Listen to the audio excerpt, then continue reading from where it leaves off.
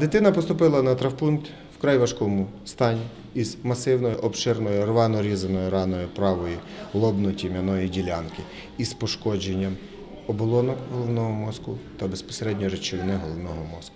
Після проведених попередніх обстежень хворого в ургентному порядку з життєвими показами е, було переведено в операційну і в операційній було проведено первинну хірургічну обробку е, пластику твердої мозкової оболонки, дренування рани із е, усуненням е, дефекту твердої мозкової оболонки. На сьогоднішній день стан хворого важкий, стабільний, хворий в свідомості.